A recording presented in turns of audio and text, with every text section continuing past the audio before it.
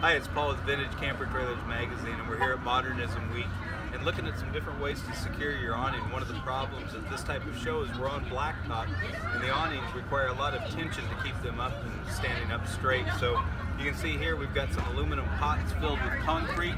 Another common practice is to use something like an ice chest or a bag, something filled with uh, concrete block but if you use the bag or an ice chest or something out here rather than just the concrete block, people are going to be more able to see it and not trip over it. So here's some ideas with different suitcases, bags, ice chests, anything that you can find to have some weight and keep tension on your vintage camper trailer awning.